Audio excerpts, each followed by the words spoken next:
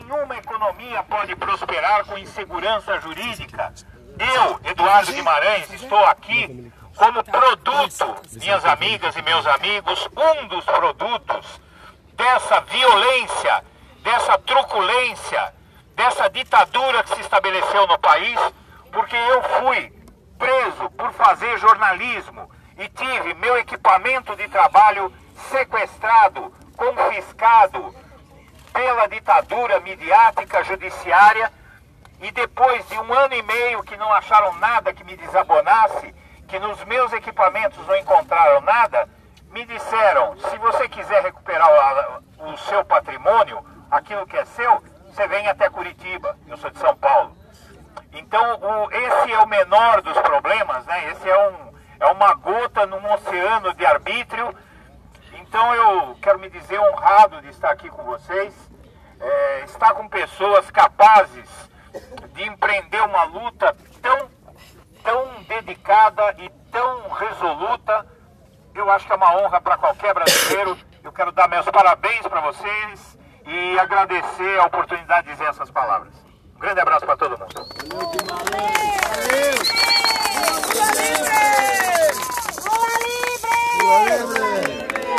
Agradecer aqui Eduardo Guimarães.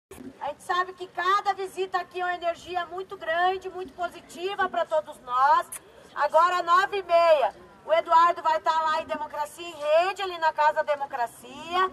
Ele já vai se dirigir para lá para começar o programa Democracia em Rede. E nós vamos para a nossa roda de conversa, que começa agora também, imediatamente, com a companheira Isabel, do MST aqui do Paraná. Então a gente pede para as pessoas já se dirigir para a roda de conversa. E o companheiro Eduardo Guimarães vai para a Casa Democracia, o programa em rede lá na Casa Democracia, com todos os nossos jornalistas, nossos meios de comunicação alternativa que está aqui. Então, muito obrigada, Eduardo muita energia para você, sabemos do seu compromisso com a história do projeto, com a história da esquerda brasileira, com o projeto democrático popular, com o presidente Lula, que hoje, como disse muito bem os companheiros aqui no domingo, o companheiro Lula é um sequestrado político do nosso país, porque o que aconteceu domingo no Brasil, a gente nunca tinha visto na história do nosso país, e nós temos certeza, e o povo brasileiro, que o presidente Lula é um preso político e nós, o povo, vamos libertá-lo e levá-lo ao, ao, Palácio do Planalto em janeiro de 2019. Então, muito obrigado pela sua presença aqui na nossa vigília. Lula livre!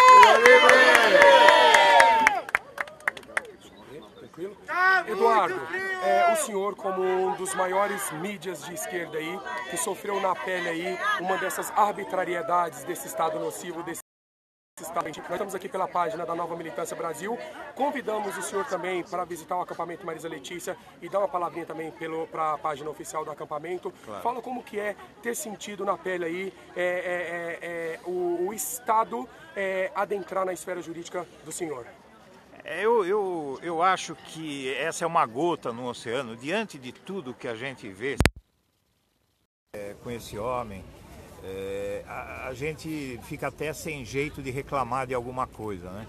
Mas experimentar o peso do Estado, é, eu acho que qualquer um que já experimentou é, sabe de como o cidadão se sente. Você se sente um, uma formiga diante de um elefante. Desproporcional. É desproporcional, eles, eles vêm com todo aquele poder, eles arrasam a sua vida, no caso, eles arrasaram meus negócios. Imagina. Porque ficaram, ficou um mês lá, em Jornal Nacional e não sei o que, e tudo aquilo ali, botando o rosto da gente naquela tubulação da Lava Jato de um cano de esgoto ah. e você saindo sim, da sua casa escoltado sim. pela Polícia Federal, ninguém quer saber. Justamente. Sabe, ninguém quer saber se você o que que você fez, o que estão acusando, se é verdade, se é mentira, porque esse é um grande problema que eu acho aqui no Brasil hoje que me preocupa muito, é que bastou você acusar alguém, acabou, já está julgado e condenado, sabe? E é isso que eu acho que, que a gente precisa mudar nesse país, essa mentalidade dessa sociedade, de não entender que todos nós estamos sujeitos ao arbítrio.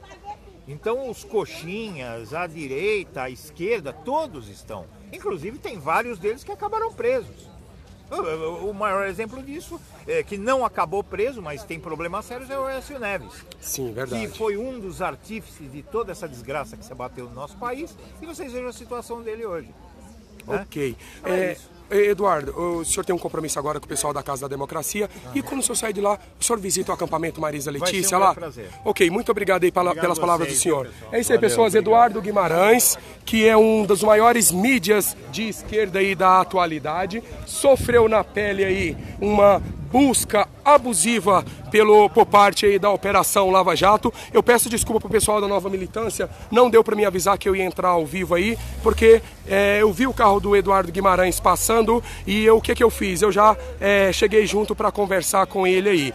Ele vai agora para a Casa da Democracia, né, Democracia em Rede, e depois ele aí assumiu o compromisso de subir lá no acampamento Marisa Letícia para a gente transmitir aí pela página do acampamento Marisa Letícia. Então daqui a pouco o Eduardo Guimarães, o maior jornalista é, progressista da atualidade, ele vai subir ao acampamento Marisa Letícia para conversar aí. Essa é a página da Nova Militância Brasil. Pessoas, você que é blogueiro, você que é jornalista progressista, se direciona para cá. Sai do conforto da sua casa e vem lutar com a gente, porque a luta não está sendo fácil aqui. Pessoas, todos os dias aqui nós estamos sendo duramente perseguidos por esse Estado que não observa a lei, que não observa a Constituição. Eduardo Guimarães vai estar no Democracia em Rede e depois ele vai subir para o acampamento Marisa Letícia para bater um papo com a gente aí. A gente já vai subir para lá, vai preparar lá o, o localzinho para conversar com ele. Isso daí é um poço de conhecimento, é um poço de de sabedoria, porque ele já vem das antigas aí, como diz no, os nossos jovens, né? Nessa denúncia aí, né? Eduardo Guimarães, do blog da Cidadania, ele vai subir ao acampamento Marisa Letícia, nós vamos bater um papo lá com ele, ele só vai só cumprir os compromissos dele, da agenda dele aqui, com o pessoal da Casa da Democracia, e depois ele sobe lá. Pessoas, eu estava falando na página do acampamento, a minha internet caiu, não deu para dar prosseguimento é, na conversa aí, mas deixa eu responder aqui, ó. O pessoal tava falando lá assim, ó. O povo tava falando assim: "Ah, mas por que que você não vai trabalhar?" Caramba, mano, você é que não está trabalhando porque você está me assistindo. Se você está me assistindo, ou você está em casa ou você está no trabalho. Se está em casa, tudo bem. Se está no trabalho, você está cometendo um ato indisciplinar, porque trabalho não é lugar para assistir Facebook, beleza? Recado tá dado. E eu estou trabalhando, porque se eu não tivesse aqui, você não estaria me assistindo, não teria essas imagens. Então isso aqui é um trabalho. A militância é um trabalho, o ativismo é um trabalho, só que não é remunerado. Mas eu tenho o maior prazer de lutar aí pelo esse Estado democrático de Direito, contra essa anomalia jurídica, contra essa ruptura constitucional que se instalou no Estado Democrático, na República Federativa do Brasil. E é isso aí, pessoas. Vamos que vamos. A luta não para, a resistência não para. Todos os dias é dias de resistência. Há dois dias atrás, nós é, é, podemos assistir aí, é, presenciar. Eu vivi isso intensamente, onde funcionários públicos do Executivo não acatou a ordem judicial. É isso mesmo que eu falei para vocês. Funcionários do Executivo, a Polícia Federal é Executivo, não acatou a decisão e procrastinou e levou no tapetão e acabou aí com, é, com esse alvará de soltura, né? O alvará de soltura foi, foi dado aí às 10 horas, né? O, chegou, demorou 23 minutos para poder chegar aqui. Quando chegou aqui, os servidores do executivo desacataram, desobedeceram a decisão judicial e não soltaram o Lula. Ficaram procrastinando, fizeram uma grande pressão na vida aí desse desembargador, o Favreto, né? Que soltou a liminar tentaram até mesmo o pseudo-jornalista de direita Cláudio Tognoli, ele ele publicou o endereço do desembargador, o telefone do desembargador, os magistrados aqui que vivem um corporativismo do judiciário é, manipularam, fizeram pressão para ele voltar à decisão. Ele não voltou à decisão, a Rede Globo interveio. A Rede Globo a partir das 15 horas. Aí depois tem mais. Depois veio o Gebran Neto. O Gebran Neto, que é do TRF4, ele, o que, que ele fez? Ele mesmo não podendo aí, ele, ele, ele deu a decisão que suspendia aí é, o alvo alvará de soltura. Depois desse alvará de soltura, às 16 horas e 4 minutos, o desembargador Favreto, ele peitou o corporativismo do judiciário e o que que ele fez? O que que ele fez? Ele falou: "Solte Lula em uma hora sobre pena de desobediência, de desacato". Mesmo assim, esses servidores públicos partidarizaram, partidarizados não soltaram Lula e às 19 horas o presidente do TRF4, né, a pedido da Rede Globo, porque a Rede Globo às 15 horas ela noticiou o seguinte, que para resolver essa celeuma seria o único que poderia seria o presidente do TRF4. Não, magistrado plantonista pode dar decisão. Porque se ele não pudesse dar decisão, não precisaria de um plantonista. Colocaria um porteiro no lugar do magistrado. É um absurdo. Ontem, a Fundação Internacional de Direitos Humanos, com sede na Espanha, declarou Luiz Inácio Lula da Silva preso de consciência ideológica. E o que isso significa dizer? Isso significa dizer que Lula foi considerado aí preso político. Lula é um preso político. A denúncia que nós estamos fazendo todos os dias nós temos que dar continuidade e no dia é, 15 de julho, domingo que vem, nós convidamos você e o Brasil inteiro ó, a, a está na porta do acampamento Marisa Letícia para sair em grande passeata denunciando essa irregularidade que aconteceu. Você de outros estados vai participar sim, porque você é patriota, você é nacionalista. Se você não puder estar aqui, você vai compartilhar aí os nossos vídeos, você vai fazer com que esses vídeos rodem o mundo. E você que é daqui de Curitiba, você que é daqui do Paraná, você tem um dever cívico, um dever nacionalista, o um dever patriótico de estar às 16 horas na porta do acampamento Marisa Letícia para nos direcionarmos. Pessoas, vai ser uma passeata dinâmica. A priori, a, a, a, princípio, ela sairá do acampamento Marisa Letícia rumo à Superintendência da Polícia Federal. Mas pode acontecer de que não sei, né? A Edna Dantas é, é, um poço de surpresa aí. Pode ser que a gente daqui decida ir para o TRF4, para, uma, para o juizado do Moro, para o apartamento do Moro, por que não? Vamos ver. Eu só peço, eu vou colocar assim que terminar esse vídeo, o link desse evento. Você vai clicar lá, você vai compartilhar esse evento. Dia 15 de julho, domingo que vem agora, às 16 horas, na porta do acampamento é, Marisa Letícia, que fica na rua João Padre Winslinski, número 278